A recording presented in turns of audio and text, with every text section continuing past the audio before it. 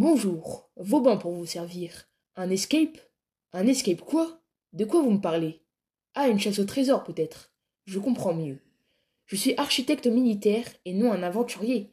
Mais je peux peut-être vous aider. N'oubliez pas que Bouchain est une ville fortifiée. J'ai d'ailleurs contribué à renforcer les fortifications au XVIIe siècle.